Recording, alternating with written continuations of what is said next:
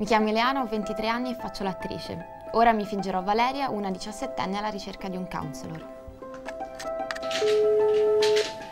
Salve, io mi, mi chiamo Valeria. Io niente. Dove sei giovane? Eh. Eh, sì, sì, sì, ho 17 anni. Sono un po' in un momento di, di confusione in realtà. Avevo voglia di, di capire un attimo con qualcuno. Ok, e va bene, l'unica cosa è che tu sei minorenne. I miei genitori sono separati, quindi insomma è un po' una situazione così, non, non sanno che l'ho chiamata. Loro potrebbero, diciamo, scrivere qualcosa nel senso che io dovrei stare tranquilla che loro sono d'accordo. Questo non, non ci avevo pensato, quindi, quindi non lo so. Va bene anche a voce, nel senso che se tu sai che per loro non ci sono, non c'è nulla in contrario che tu faccia un percorso, va bene. La counselor ha capito che e sa qual è la procedura, cioè lei deve ottenere l'autorizzazione. In questo caso eh, la ragazza sta dicendo che lei non ce l'ha e lei gli dice vabbè ma vediamoci lo stesso sostanzialmente. Va bene anche a voce che, come dire, potrebbe, lei potrebbe mentire Ileana, no? Dicendo che i genitori hanno detto di sì. certo, è assolutamente a rischio.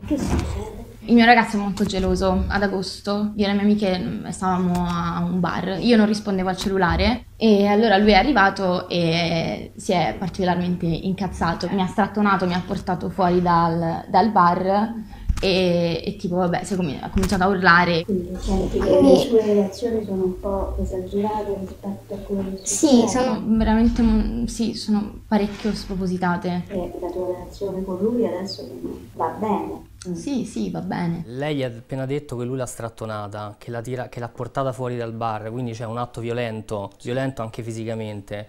E lei gli dice, tu come ti, ti senti, la tua relazione come va? Va bene, no? Cioè gli dice lei, addirittura gli imbocca la risposta, dovrebbe svolgere una funzione anche di dirgli guarda che questa cosa che per te va bene è allarmante, molto più di quello che tu credi. Sembra che non abbia, come dire, focalizzato il, qual è il punto. Questo è un utilizzo di una tecnica un po' a casaccio, cioè nel senso che il, il tema è che loro utilizzano tecniche senza avere una teoria di fondo. Immaginano dei momenti in cui diventa geloso, si arrabbia, alla fine ti strattona. Come ti senti in quel momento? Ma mi sento ferita. Volevo parlare pure con qualcuno per capire se mi serve un- una mano effettivamente, cioè non, non so. Lei sta lì, ha una minore, non ha il consenso informato dei genitori, tratta un, un tema che è un tema di tipo sanitario e che quindi devono trattare medici, psicologi, psichiatri e quant'altro. E Lei di fronte a questo ritorna su, come dire, una cosa che evidentemente le hanno insegnato, che è quella di non dare risposte, ma di riproporre e di richiedere all'altro come si sente, come la fa sentire, eccetera. Come a rimbalzare la palla, no? In qualche modo. Esatto, sì, lo rimanda su di lei, ma eh, ci troviamo in una situazione diversa da quella che immagina lei, se ne immagina uno. Come se fosse lo stesso canovaccio. Esatto, A prescindere dalla cosa che ti sto dicendo. esatto. E questo è grave. E ogni volta che lui mi chiede scusa io lo perdono perché non c'è, cioè nel senso perché che alza la voce, che mi strattona. Potresti parlarci e cercare, cioè dirgli questa cosa qui. Parla con lui, ma come parla con lui? In una situazione in cui c'è una vittima, tu la devi allontanare. Anche perché poi da quello che sta eh, dicendo Eleana è chiara, come dire, la, la sottomissione, la sudditanza no, che ha nei confronti del, del ragazzo. Eh sì, cioè ci sono tutti gli elementi che, che proprio hanno a che fare con un classico caso di relazione violenta. Mi sono sentita in colpa quando ho mentito a mia madre. Avevo un piccolo livido sulla, sulla faccia. Gli ho detto che mi ero fatta una, una cosa a scuola. Dal ceffone perché c'ha l'anello. Lei cosa pensa? Mi spiace. Mi dispiace. Cioè, come se stessimo, non so, alla fermata dell'autobus, uno mi racconta una cosa e io che gli posso dire? Mi dispiace, pat pat, pacca sulla spalla e la cosa finisce così. Ma tu sei un professionista, non mi puoi rispondere mi dispiace. Cioè tu mi devi dire io non sono la persona adatta perché io non posso affrontare questo tipo di tematiche, devi rivolgerti a qualcuno che sia in grado. Però noi ci dobbiamo fermare, possiamo lavorare su queste cose. Tu l'hai detto. Sì, io ho detto a mamma che stavo qua. Sì, E sì, ha no. detto no? Ok. All'ultimo si fa lo scrupolo pure lei, dice l'hai detto a mamma che stai qui? Sì. E mamma che ha detto? Va bene così. Fine così. Dopo Si è 50 presa- minuti di chiacchierata dice ma tu l'hai, l'hai chiesto a tua mamma? Si è presa il cliente. Sto andando ad incontrare un counselor a cui ho raccontato di avere un serio problema alimentario. Avendo 17 anni ancora devo, insomma, eh, devo parlare con i miei genitori, però non mi andava di condividere questa cosa. La domanda è qual è l'obiettivo che Valeria vuole andare a vedere di lasciare andare, scoprire, svelare. Lei dichiara subito che eh, è minorenne, che i genitori non sanno che lei è lì e lui ignora totalmente questa cosa. Un professionista direbbe, beh, questo però è un problema, perché tu non puoi venire qui senza che i tuoi genitori lo sappiano, senza che tu sia autorizzata da loro al trattamento. Sto cominciando a riprendere una cosa che facevo anni fa, che a 13-14 anni ho avuto un problema di anoressia e sono stata ricoverata in una clinica. E ti ha aiutato a uscire da questa cosa che avevi creato, dallo smettere da rifiutare Gli psicologi. Mm. Gli psicologi, ma anche tutto il percorso che hai fatto, tutto Ah. il periodo. Mm, sì, cioè, nel senso è stata una cosa che ho superato, sono riuscita a superare. che tu hai superato. Sì. Valeria, è importante questo, sei tu che vai oltre. Di fronte al fatto che una persona ti dice che ha avuto una storia clinica pesante perché è finita in una struttura, ha avuto un problema di anoressia, eccetera, il tuo, come dire, intervento più importante è quello di andargli a dire che lei si autodetermina e che quindi in realtà lei ha il potere di decidere, non sono gli altri, gli psicologi o chi la aiuta. E lui avrebbe dovuto interrompere e dire guarda io non sono in grado di affrontare questo tipo di problematiche perché questo è un problema evidentemente legato alla condotta alimentare, a un disturbo alimentare e quant'altro e non lo posso trattare. Cioè, ho ricominciato a vomitare, sento di non riuscire a fidarmi di me stessa e questa è una cosa Per quale motivo non dovresti aver fiducia? perché non riesco a controllare questa cosa. Ti senti più grossa di quello che vorresti? Sì, non mi sento nettamente più grossa di quello che... E come vomitare? Beh, a me non mi fa sentire in colpa. Di fronte al fatto che lei dice io mi abbuffo, poi vomito, mi vedo più grossa di quello che sono, lui gli chiede com'è vomitare. Cioè che è un tipo di, di domanda assolutamente fuori luogo, non è un intervento professionale. Cosa non ti piace di te? Il mio fisico non mi piace per niente. Ci sono soluzioni, uno per esempio potrebbe andare in palestra. Questa è proprio l'apoteosi. Cioè lui individua una soluzione a un problema complesso che lei sta portando, una soluzione di una semplicità in disarmante. palestra. Andare in palestra è la soluzione. Cioè il pensiero semplice portato alle estreme conseguenze. E adesso arriva il bello perché dice anch'io ho la pancia, no? Ah, Io ho un po' di pancia. Ci sono volte dove, come te, mi mangio una mela, un paio di arance e, e mi sento ok. Apro il frigo e anche sportello. utilizza anche qui una tecnica che è quella di far sentire la vicinanza in una situazione in cui non si usa mai, perché di fronte al fatto che questa ragazza ha un evidente e conclamato disturbo eh, come dire, della condotta alimentare, ragioni con una logica che, che è stringente di fronte a una logica della psiche che lei ti sta portando, che invece è molto più articolata e molto più complesso. Quello che viene chiamato, credo, disturbo di alimentazione, una cosa di questo genere, per me è abbastanza chiaro da dove viene. Qui lui individua il tema, quindi non si può dire che lui non si è reso conto perché non è capace a fare la diagnosi, cioè lui gli dà proprio un nome, lo chiama disturbo alimentare. A questo punto lui deve fare un passo indietro, cioè si deve fermare e gli deve dire guarda, io ho capito, prima non l'avevo capito, ci ho messo un po', adesso l'ho capito, E io mi devo tirare indietro. io non sono il professionista per te, tu devi andare dai professionisti che ti hanno curato prima, infatti tu hai detto che prima l'hai risolto e non l'hai risolto con un counselor, l'hai risolto rivolgendoti a una struttura. Questo è un tema sanitario e ti devi pure sbrigare a mandarcela perché questa è un'occasione, nel senso che lei sta chiedendo aiuto, non è detto che ricapiti. Tu puoi cominciare a prestare attenzione a una Valeria che dice e perché adesso sto facendo così? È giusto quello che dico o è una mia idea? Ci sta quello che ti sto dicendo? Chiede a lei come, come va, cioè come si è sentita con lui, cioè, insomma, eh, gli chiede come è andata la prestazione. Sono stato bravo. Sono stato bravo, e fa un po' ridere. Il medico di te stessa sei tu e quello è il punto. Allora su questo piano possiamo vedere di fare qualche incontro insieme. Vediamo da qua a qualche mese se in te qualcosa cambia e allora se funziona, evviva!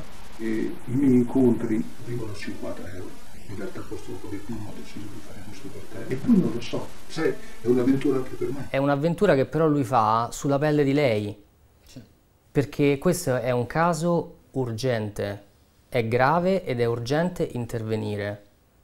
E invece lui questa urgenza non la vede. E dice proviamoci, E vediamo ci come dice proviamo, tanto poi se va male è un problema tuo. Intanto i miei incontri costano 50 euro. Ora invece sto andando ad incontrare un altro counselor al quale ho raccontato di abusare di sostanze stupefacenti. I miei genitori non lo sanno che sono qua, perché insomma ho 17 anni. Mi andava che fosse una cosa mia. Sono un po' preoccupata per, ehm, per una mia amica, perché quest'estate abbiamo provato la cocaina. Il sabato sera quando usciamo insieme, insomma ci facciamo Ci facciamo cosa intendi? Che prendiamo un'autostrisce, insomma.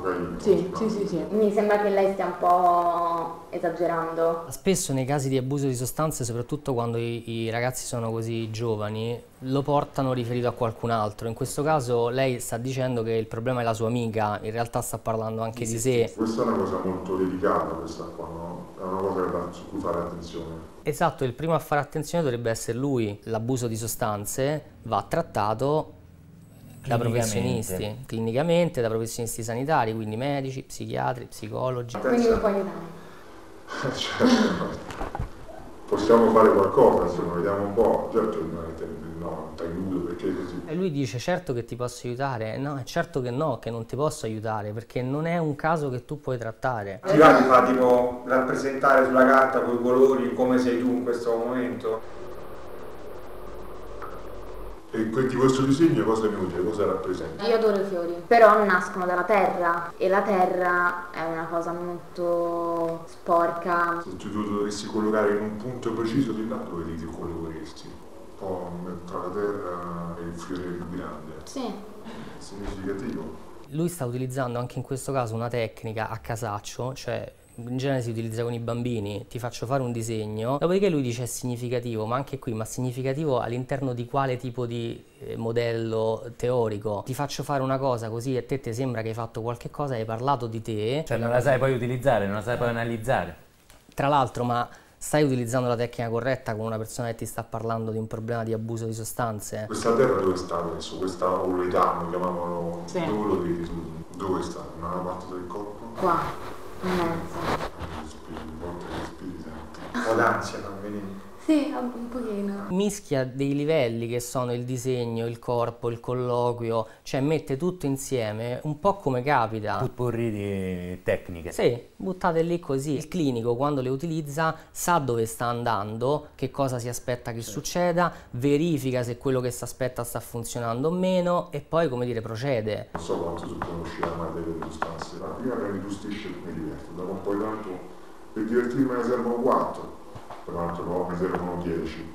Dopo un altro po' ne devo prendere 20 perché sennò sto male. Pure i cani, se ci fai caso un po', eh, all'inizio tu giri, ti comporti, poi dopo ne serve. Io, io stesso riconosco, le sostanze ho provato, no? cocaina, ho fatto questo, ho fatto Ah, questo. sì? Ma guarda anch'io, lo proprio perché lo che la conosco bene la cosa. Non bisogna mai riportare il fatto che anche io ho fatto uso di sostanze, perché tu in questo modo lo stai sdoganando, cioè in qualche modo gli stai dicendo implicitamente Tranquillo, l'ho fatto anch'io. Esatto, è una cosa che si può fare, non ti preoccupare. Il motivo per cui lui lo fa è un altro, lui cerca di fare questa operazione per fargli vedere che stanno sullo stesso piano, ma quello è un piano pericoloso. Quello che mi preme è che tu sappia questo, che Ok. cominci a pensare pure a, A a queste sostanze, forse è meglio che Mm.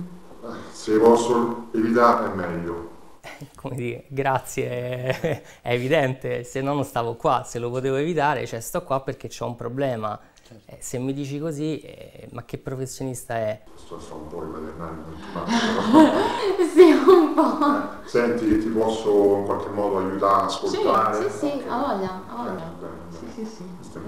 Posso fare una ricevuta, come fai, una ricevuta fiscale? No, no, è giusto per capire se... Ok, te la faccio però adesso non ce l'ho, te la posso Ok. fare la prossima volta. Alla fine di tutti questi tre colloqui, che idea si è fatto lei? Tutti utilizzano tecniche di natura psicologica prevalentemente, ma senza una teoria di riferimento. E questo si vede, cioè tecnicamente si vede che gli interventi che vengono fatti sono interventi privi di senso, di, di, significato e quindi non sono atti professionali. Se la situazione in ambito privato è questa che vi abbiamo mostrato, è allarmante il fatto che nella scuola pubblica i counselor vengano autorizzati dai dirigenti scolastici ad attivare sportelli di ascolto spesso pagati con le risorse della scuola o che addirittura facciano osservazione sul campo rilasciando diagnosi di tipo clinico.